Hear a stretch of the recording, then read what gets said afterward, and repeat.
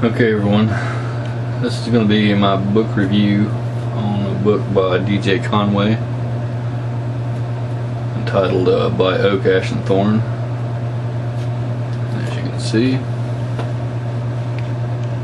well, basically, this is the book right here. And name. And it is a book on modern Celtic shamanism. I guess the reason I picked it up was because it was in the New Age section, and sometimes if you go into certain stores, this can be found in the Wiccan section. And now that I've read it, I don't know why, but it's not a religious book.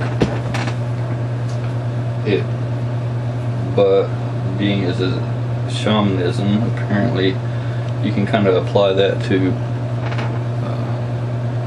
any walk of life, whether you're Christian, pagan, or what have you.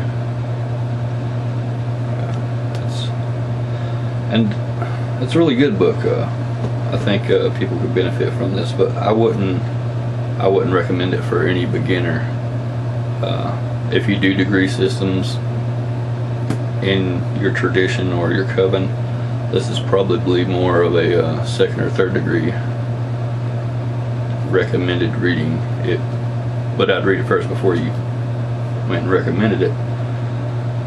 Uh, but it deals with shamanism, and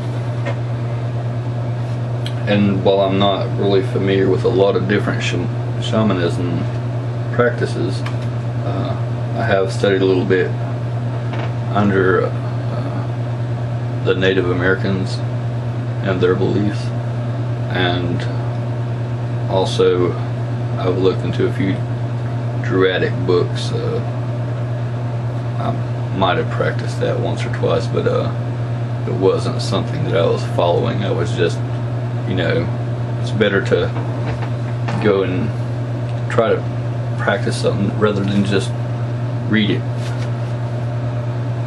But uh, for anyone who practices any type of Celtic Wicca, I would definitely read this.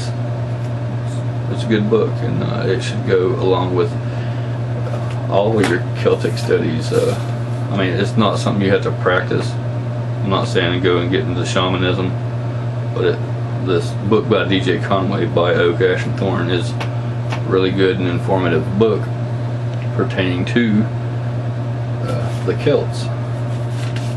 Some of you who pronounce that differently. Uh, also, if you ever read any books by John Matthews or John and Caitlin Matthews. They're very informative as far as Celt history and things things of that nature go. But uh, definitely give this a read uh, if you're into Celtic Wicca, and I think you'll really enjoy it. Uh, there's a lot to do with meditation and uh, spiritual awareness, and basically being at one with nature and one with yourself because what it's saying for shamanism is that you have to heal yourself and, and be at peace and at ease within yourself before you can go out and apply that to other people.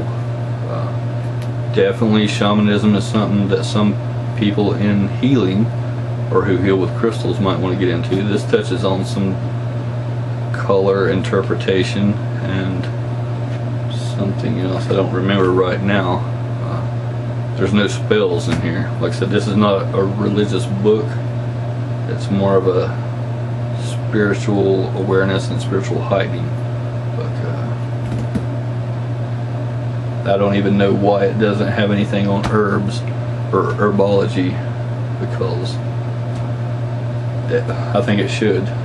So I'm going to give it a good rating right now.